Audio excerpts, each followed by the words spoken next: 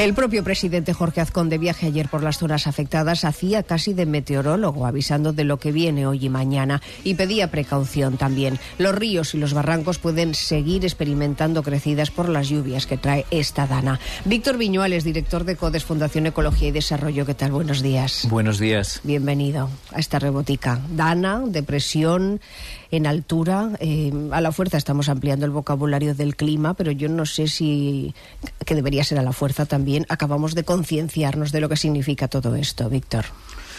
Bueno, yo creo que lo primero es que todos es en nuestro país y yo creo que más allá estamos abrumados por las imágenes, por el dolor que percibimos, ¿no? Porque empáticamente te pones en el lugar de la gente que ha perdido sus seres queridos, de la gente que está viendo cómo ha perdido sus propiedades, con sus, sus y entonces dices, pero pero pero esto a qué nos enfrentamos? Entonces, yo creo que lo primero porque todavía hay gente que está desaparecida, es lo primero es manifestar el el, la ayuda, la cooperación, el pésame con todas las víctimas, con, con, todo lo que están sufriendo, con ese dolor, ¿no?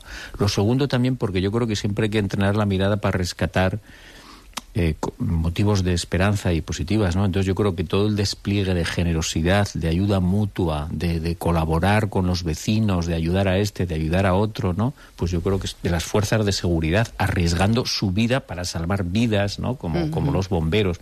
Pues yo creo que también hay que decir... Ayer se fueron los bomberos de Zaragoza a última hora de la tarde eh, hasta Valencia precisamente para echar una mano. Se ha ofrecido, se han ofrecido desde el gobierno de Aragón también medios a la comunidad hermana limítrofe que somos Valencia y y Aragón y bueno, pues eh, desde luego toda la ayuda es poca, parece, ahora mismo.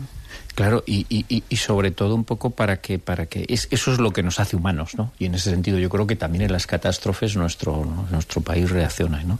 Y yo creo que hay que resaltar una cosa que es, es a qué nos estamos enfrentando. Hace muy poco, la semana pasada, yo leía un informe del clima y los océanos y decía, los océanos, el océano se está calentando a un ritmo que que nos, es como si eh, aumentara su calor equivalente a que le cayeran al océano, esto es una metáfora, ¿no? Cinco bombas de Hiroshima cada segundo, cada segundo. O sea que si esta rebotica dura más o menos media hora, serían 9.000 bombas de Hiroshima. Esa energía embebida en el océano luego descarga, ¿no? Este, este mismo verano, en agosto, Euronews pero que era el 7 de agosto, decía, el titular era, el Mediterráneo arde, arde. ¿Cómo que es eso de que un, mar arde? Y, añadía para corroborarlo, en Poyensa se han medido 30 grados, en, en una boya en Valencia 28, en una boya en Barcelona. Estamos ante esto, esto es ante lo que nos enfrentamos y esto lo que exige es otra respuesta distinta a la que estamos dando. Mm. El Mediterráneo y Aragón también, en el Valle del Ebro somos territorio sensible. Llevamos tres danas desde finales de agosto. Algo habrá que pensar, desde luego, y es lo que queremos hacer en esta rebotica, bucear en esas corrientes de fondo de esta dana para ver qué pasa, por qué pasa lo que pasa y sobre todo a lo que nos obliga, sin dejar de vista, sin perder de vista, desde luego, cuál es la última hora. Y es lo que vamos a buscar ahora con Miguel Ángel Clavero, que es el director general de emergencias del Gobierno de Aragón. ¿Qué tal? Buenos días. Hola, muy buenos días. Eh, señor Clavero, ¿cómo ha ido la noche? Bueno, por la noche ha ido muy tranquila. La verdad es que las precipitaciones cesaron ayer a la última hora. Por la noche prácticamente no ha llovido. Ahora por la mañana se han reactivado, se han reactivado algunas lluvias en el entorno de la ciudad de Zaragoza. Nada preocupantes y también en el entorno de Maestrazgo y Batarraña, sobre todo en la zona colindante con, con la provincia de Castellón. Pero bueno, siempre en unos eh, eh, con, una intensidad eh, moderada, muy moderada.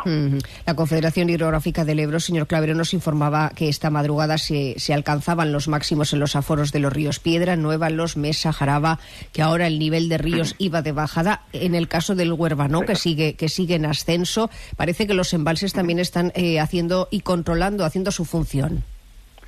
Sí, efectivamente, sobre todo en el caso del Huerva, que nos preocupaba bastante, eh, ahora mismo ya han conseguido laminar prácticamente en la avenida que, venía desde la cabecera del Huerva en el embalse de las Torcas y por tanto la situación es un poco de tranquilidad. Están entrando ahora mismo unos alrededor de 15 metros cúbicos del embalse, salen 17, que son niveles que pueden asumir perfectamente el río. Con lo cual en el Huervo estamos tranquilos y efectivamente en el río Piedra y Mesa, que son los que mm, nos, más nos preocupan, están ya en descenso, lento pero en descenso. Eh, ¿Cuáles son los puntos clave de, lo que hay que centrar hoy la atención? ¿Qué esperan para, para la jornada de este jueves? Pues sobre todo nuestra atención la vamos a focalizar en la zona de Matarraña y Maestrazgo, en el límite de nuestra comunidad autónoma con la provincia de Castellón, porque las predicciones lo que nos dicen es que la gota fría, la aduana, sigue activa, sobre todo con vientos del Mediterráneo muy, cálidos y muy húmedos, y por tanto, aunque principalmente van a descargar en la, en la provincia de Castellón, algo puede pasar a Aragón y por tanto tenemos que estar muy atentos. Mm. Es, un, es un puente, el principio de un puente. Además, estamos en jueves, pero mañana es la festividad también del día 1 de Todos los Santos. Muchos estarán pensando, señor Clavero, en desplazamientos, en irse a, a donde hayan planeado pasar este puente. ¿Qué mensaje hay que darles a una hora como esta? Pues sobre todo un mensaje de precaución. Eh, las condiciones meteorológicas de cara al puente mejoran. Eh, no deja de llover, vamos a tener unos días eh, con chaparrones no intensos, pero con, algo de lluvia. Entonces, sobre todo, precaución, precaución y sobre todo seguir las indicaciones que de las fuerzas y cuerpos de seguridad del Estado SEDEN, Guardia Civil y de los servicios de emergencia que estaremos continuamente vigilando eh, la situación meteorológica y la situación de las carreteras eh, y de los ríos para poder lanzar los avisos eh, que sean pertinentes. Pues con ese mensaje terminamos, señor Clavero. Mucha precaución. Tienen CECOP, reunión de coordinación dentro de nada, a las 9 de la mañana, si no me equivoco, pero quiero darle las gracias especialmente porque además de estar al pie del cañón, nunca, nunca deja de tener tiempo para informarnos. Gracias. Buenos días. Muchísimas gracias a vosotros. Bueno, pues así está la situación. El punto más eh, clave va a ser el Matarraña, pero queremos ampliar hoy el foco y por eso tenemos aquí a Víctor Viñuales, porque esto nos obliga a pensar un poco más, no solamente en el aquí y ahora, que es fundamental saber el punto de atención dónde va a estar, qué pasa con los ríos, cuál es el mensaje de precaución, si uno si se piensa ir de viaje o no se piensa ir de viaje, pero nos obliga a reflexionar, Víctor, todo, todo lo que ocurre. Total, ¿no? Quiero decir, yo creo que, que lo, dijo hace no mucho el secretario general de Naciones Unidas, que dijo, estamos librando una guerra suicida contra la naturaleza.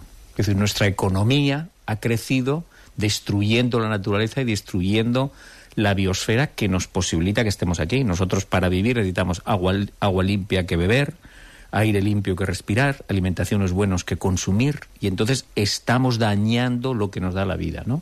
Y ahí el cambio climático se configura como la el principal y el enorme desafío que tenemos en la humanidad.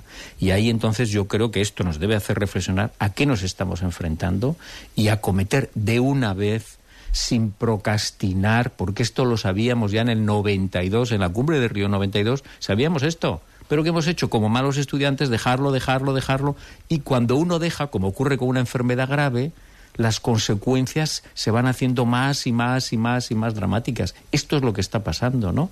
Y lo que, desde luego, tenemos que, dejar de hacer es cuestionar a los profesionales, cuestionar a los científicos. Hace cinco días, un meteorólogo, un investigador de la Agencia Estatal de Meteorología, avisó de esto. Y las redes se llenaron una vez más de cuestionamientos de no sé qué, pues si el cambio climático no existe, que si no sé qué, negando lo evidente. Pero ¿qué, es, qué manía es esa de negar los hechos los hechos y negar la ciencia. ¿En qué locura nos hemos metido? Yo creo que esto es un aldabonazo, decir, vale ya, vamos a trabajar unidos, sin diferencias políticas, para afrontar este desafío. Bueno, y si no se lo estamos contando, porque lo estamos viendo y lo estamos viviendo, y la radio minuto a minuto lleva contándoselo sin interrupción desde ayer. Estamos sobre todo para esto. Es el resumen sonoro de lo que ha ocurrido, de lo que está contando Víctor, traducido, aplicado, vivido en los lugares más cercanos, Aragón ejemplo, en Montalbán. Tenemos afecciones en Herrera de los Navarros, en Villar o no de la Vieja. Afecciones en calles, en carreteras, en accesos, en, pérdida de agua potable. Por ejemplo, en no de la Vieja no tenemos agua potable, pues vamos a llevarles agua potable o en cubas o en botellas. Pues ahora mismo me he bajado hacia la zona del monasterio de Piedra porque en Zimbaya el pueblo está eh, incomunicado, no hay internet, no hay luz, no hay, no hay cobertura. Me he bajado aquí y a rezar, pero vamos, soy muy, muy, muy pesimista. Yo creo que noches como estas, yo creo que, que, no ha habido nunca. Ha llovido muchísimo, el río ha llegado a sitios donde no nunca había llegado, el puente de los Ramones que ayer ya se quedó inutilizado, eh, no quiero pensar cómo estará hoy. En los Tarrasones la pasarela se la ha llevado. O sea, la imagen y la fotografía de Olva en estos momentos pues es dantesca. Y hemos tenido una mañana pues muy delicada y con muchísimos problemas, ¿no? Con muchos destrozos, casas anegadas, vehículos arrastrados, eh, garajes, eh, bueno, muros que se han caído, muchas cosas eh, y ahora pues a ver Solo son algunos de los testimonios, de los muchos testimonios recogidos por esta cadena Ser en Aragón, sin salir de casa. Nuestra comunidad tocada también por esta dana en Zimbaya, en Olva, en Montalbán, Mazaleón, de la Vieja. Víctor, cuando escuchas estos testimonios, antes hablabas del Mediterráneo, pero podemos ir también em, centrando el foco, porque el Mediterráneo sí, y el Valle del Ebro también, que es un territorio sensible a estos fenómenos. Total, quiero decir, eh, después de, si recordar los oyentes, seguro ese enorme verano que nos eh, despertó a todos y que, y que mi suegra acabó su, el verano diciendo, yo otro verano así no lo vuelvo a pasar. ¿eh? Pero lo, es, esa afirmación tajante y taxativa de mi suegra luego vino ratificada porque la Unión Europea habló de 10 ciudades en Europa que habían sido especialmente afectadas por esta ola de calor había cuatro españolas, una era Zaragoza. Que decir, el, Valle del Ebro, y de hecho cuando, cuando escuchamos los partes meteorológicos, siempre aparece el Valle del Ebro con unas eh, temperaturas de calor enorme. Pero lo que, pasa, lo que pasa este año, hace dos años, la temperatura máxima, que era el récord, no, esto no había pasado hasta ahora, de la, de, la mínima máxima fue 25,8. Es decir, las noches tórridas, ¿no? Y este año subió tres grados en un año. ¿Ante qué estamos? Algo está cambiando, ¿no? Pero algo muchísimo. Y entonces ahí es donde yo una y otra vez digo, hagamos el favor. Dejemos de transformar el cambio climático en un motivo de pim pam pum político, concentrémonos, cooperemos entre nosotros, unámonos, trabajemos juntos, ¿no? Porque lo hasta lo que nos encontramos es enorme y lo que hay que hacer es reducir nuestras emisiones lo máximo y adaptarnos con urgencia, con urgencia. Tenemos cientos de miles de viviendas en Aragón que no están bien eh, aisladas, que no están bien eh, aisladas para soportar las, las, olas de calor. Es decir, tenemos construcciones en barrancos, tenemos que hacer una adaptación urgente. Porque si no vemos las consecuencias. Vamos a ir enseguida a lo que tenemos que hacer porque queremos acabar con mensajes muy claros también en esta, en esta rebotica, saber y entender lo que pasa y sobre todo entender también a qué nos obliga. Eh, pero también es importante escuchar a, los mayores. Ayer el alcalde de Montalbán, Víctor, eh, que fue visitado por el presidente Jorge Azcón, decía parafraseando a la gente más mayor de su municipio que una dana de estas características, una lluvia torrencial de esa magnitud no la habían visto ellos en años. Y por eso queremos, queremos recurrir a la ciencia para si realmente esto es un cambio, como estamos diciendo, nos lo puede corroborar la científica del CSIC, Ana Moreno. ¿Qué tal? Buenos días, Ana.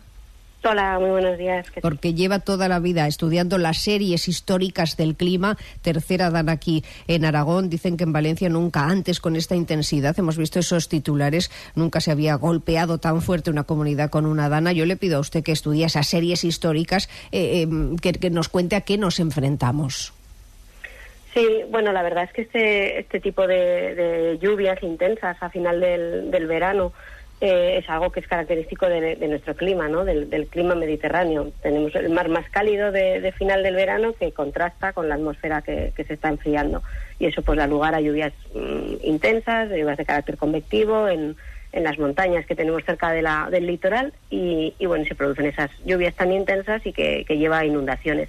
Dijéramos que eso es un fenómeno habitual de nuestro clima al que estamos acostumbrados que son más intensas, pues con unos periodos de recurrencia, o sea, eso quiere decir que con, con cierta frecuencia, pues con entre cada 50, cada 100 años, tenemos una dana o una situación más intensa. ¿Qué está haciendo el cambio climático? ¿Qué está, ¿Por qué decimos que esto es, atribuible al, al, contexto actual de, aumento de temperaturas? Pues está haciendo precisamente que nos encontremos un mar Mediterráneo a final del verano mucho más cálido de, de, lo habitual, como estabais comentando. Ese aumento de temperaturas en la atmósfera también hace que la atmósfera pueda mm, albergar más humedad, con lo cual tenemos el mar más caliente, la atmósfera que puede albergar más humedad y estas estas bolsas de aire frío que se que se que se cierran y que se sitúan en nuestras latitudes, que antes no ocurría con tanta frecuencia, pues provoca que, estas lluvias sean todavía mayores. o sea, el cambio climático, digamos que acentúa un fenómeno habitual de nuestro clima. Y, y claro, pues eh, por eso hace que sean bueno, pues que sean eh, récords en, en, las series, en las series históricas. Usted antes lo, decía, Víctor, a micrófono cerrado, es una especie de arqueóloga del, del, clima, ¿no? Estudiando todas esas series históricas que vienen de años tan, tan atrás. Pero con estas evidencias, Ana, yo le pregunto, ¿estamos haciendo lo correcto? Bueno, la verdad es que eh, aparte de que tengamos este contexto de cambio climático, que, que por supuesto no estamos mitigando de la, de la manera adecuada, aparte se suma a, esta situación tan excepcional de lluvias y tan peligrosa, pues que no estamos adaptados, que no estamos, eh, bueno, pues que tenemos construcciones en esas zonas eh, que son potencialmente inundables y que se inundan cada, cada dos por tres. Se sigue construyendo en esas zonas, no se tienen las ciudades adaptadas, tenemos un, desarrollo, sobre todo en el litoral, pues que, va opuesto en la dirección de, enfrentarnos al cambio climático y, bueno, pues todo eso mm, no, no, no, trabaja, dijéramos, en la línea de mejorar nuestra situación para enfrentarnos a, a estos eventos extremos que tenemos claro, como, como digo, que cada vez van a ser más, más frecuentes y, más intensos. Mm.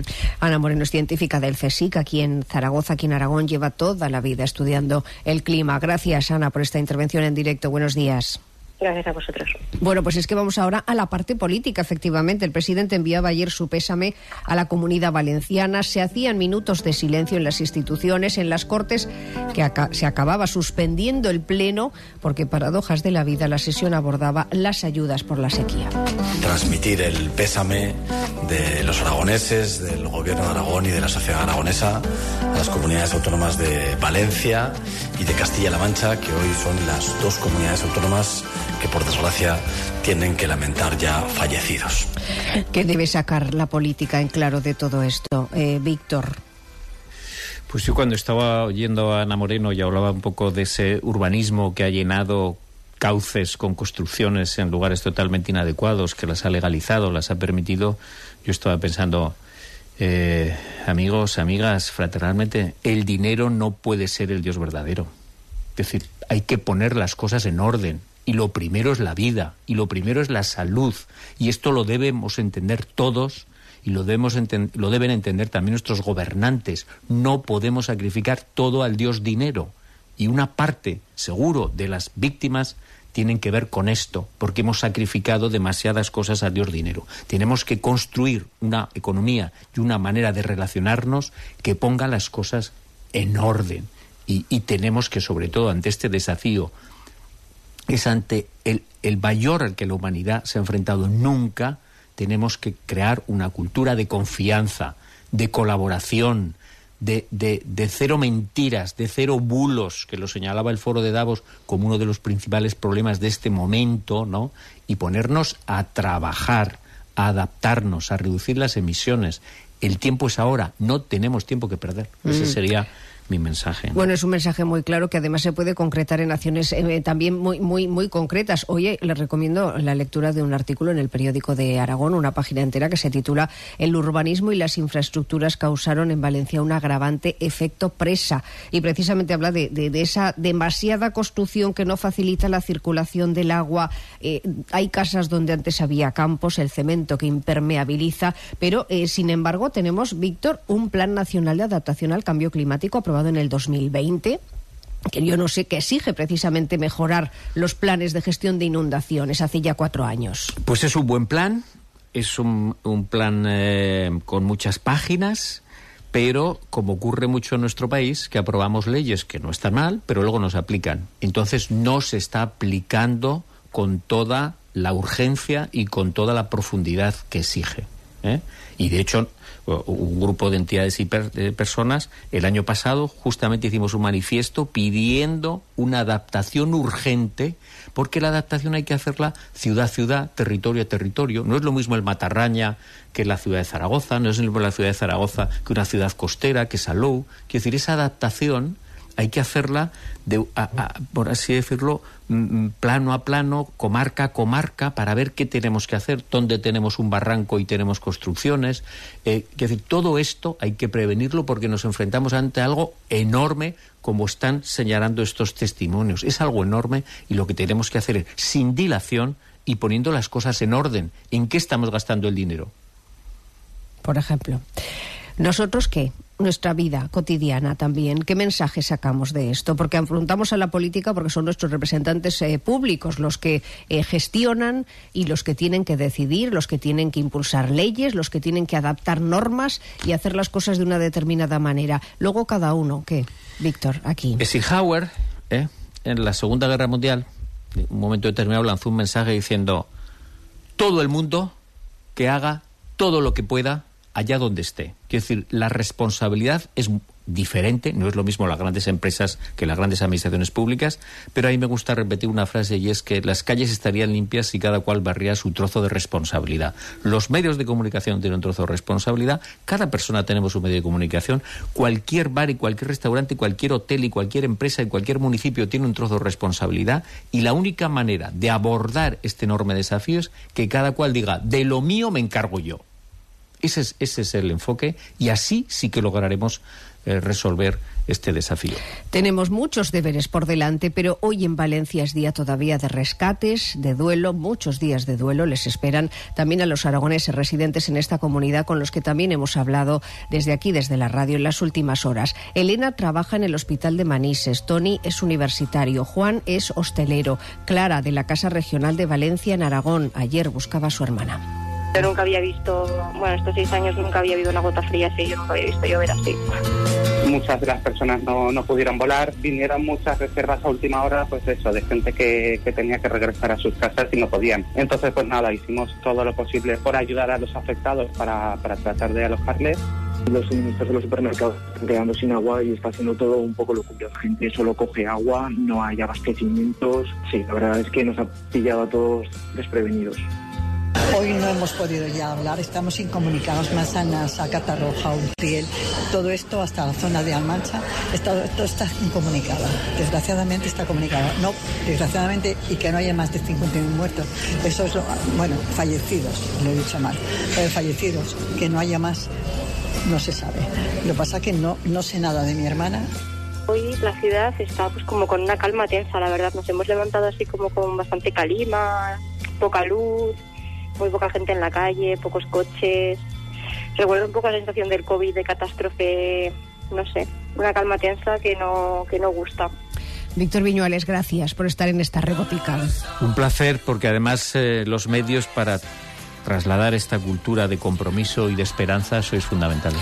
Nos vamos, mucho cuidado con los desplazamientos, sobre todo al sur de la comunidad. Volvemos el lunes, pero la radio sigue alertando, informando y acompañándoles. Feliz fin de semana a pesar de todo.